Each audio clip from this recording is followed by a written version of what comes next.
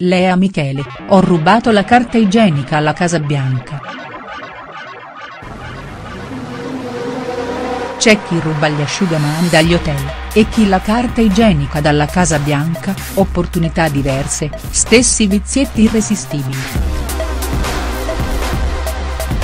Che cosa combini, Lea Michele?.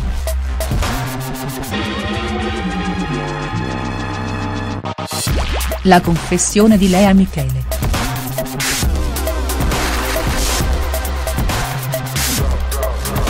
Non capita tutti i giorni di essere invitati alla Casa Bianca da Michelle e Barack Obama, ed è comprensibile che si voglia conservare un ricordo di quel momento speciale. C'è chi come Baby Yo si è fatta quindi un selfie con il presidente degli Stati Uniti, e chi come Lea Michele è sgattaiolata nella toile per rubare niente meno che un ambito rotolo di carta igienica e portarselo a casa alla chetichella. Lo ha confidato la stessa attrice di Glee al The Tonight Show starring Jimmy Fallon, abbiamo avuto l'onore di andare in visita alla Casa Bianca quando stavo girando Glee, quando c'era ancora Obama, ed è stata davvero una cosa incredibile. Stavo realmente dandomi pizzicotti in continuazione, dicendomi di ricordare ogni singolo momento. Perché sapete, soprattutto ai tempi di Glee succedevano spesso cose meravigliose. In un weekend siamo andati da Oprah e poi alla Casa Bianca, e stavamo girando delle scene. Però è difficile ricordare ogni singolo momento.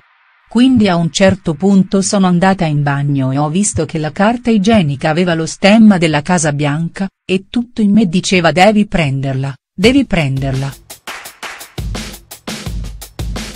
Quindi ho preso la carta igienica nascondendola nei pantaloni, e ce l'ho ancora oggi. Nessuno ha scoperto la bravata di Lea Michele, anche se l'attrice ha confessato di aver avuto molto paura, voglio dire, avrebbe potuto essere anche oro. Ero così spaventata che ho iniziato a sudare, pensando in continuazione ho rubato bravata o errore?.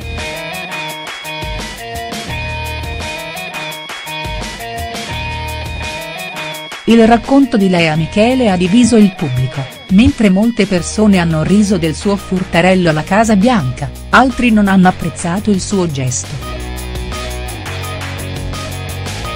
Tanti hanno commentato il suo gesto dicendo che se avesse semplicemente chiesto di avere un souvenir, gli sarebbe stato dato senza problemi ma vogliamo mettere il brivido e l'adrenalina che si prova a sottrarre la carta igienica a Obama contro una semplice educata richiesta? Chiaramente non c'è paragone, anche a livello di storytelling. La storia di Lea Michele.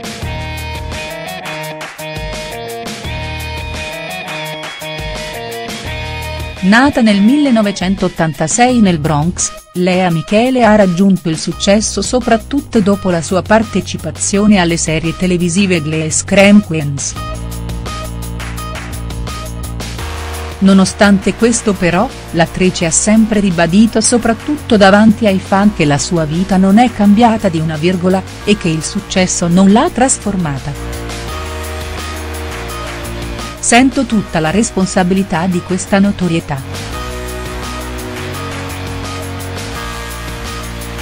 Cerco di condividere con i miei fan quello che davvero sono, che spesso non esce dai giornali. Sono e resto con i piedi per terra, legata alla mia famiglia e ci tengo che i miei fan lo sentano. Spesso dai giornali questo non esce, ha raccontato tempo fa. Cantante, attrice e ballerina, non si è mai risparmiata nel corso della sua carriera e ha cercato sempre di esplorare nuovi ambiti e contaminarsi con le varie branche di Hollywood. Adesso sta recitando nello show Tei Mayor e nel frattempo si dedica anche alla musica.